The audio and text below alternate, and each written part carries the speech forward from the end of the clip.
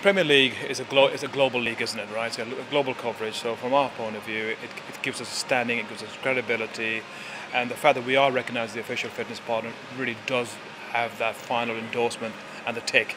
Saturday should be great. There'll be additional PR uh, in the program around the you know, around the stadium. We're going to be doing a lot of work with Stoke City over the coming months and years, I hope, which will be great for us to promote uh, our, ourselves in association with Stoke City. And, and really, I mean, I'd like to add also that I'm actually very grateful that Stoke City have a real eye for the community. You know, that uh, not only are they global um, they've got a global presence, but they also have a, an eye to make sure that they look after the community, they look after the businesses that are really on their, on their local patch. Because ultimately, it's those businesses and, th- and the local community that will actually help to support the, the business going forward.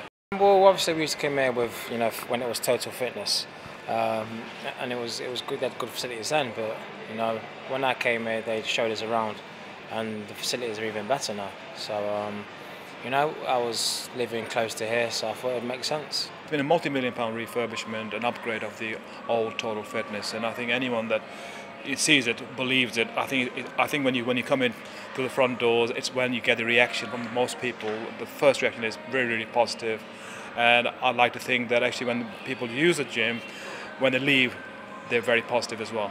Some of the equipment guys, it's, it's fantastic. It's definitely you know the top of the top of the art, state of the art stuff they've got. Um, so like the, the, definitely invest a lot. You can tell the way the way they look after you, the way the, the staff um, and the equipment that they do have. Um, it's, it's it's advised to join, um, and yeah, they do make me welcome. And you know, with your card, you get this. You know, you can put it in in the machines, and you can do your own own, own workout plan. So yeah, it's great you know, they're professional players, they do enough training in the week, and I think when they come here, they love to just rest, rest and, re- and recuperate.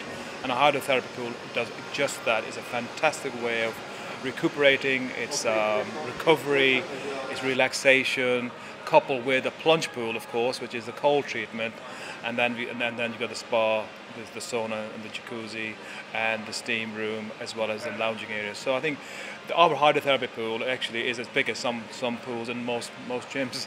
It's the um, the hydro pool.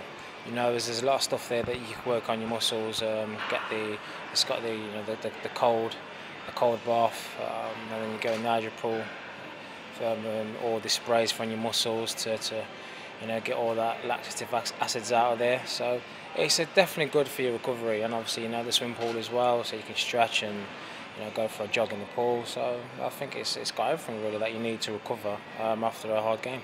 Premiership football team, local football team, pro team, linking it with I like to think the one of the very best uh, lifestyle fitness clubs. So it's just a brand association. It's, uh, it's a great partnership.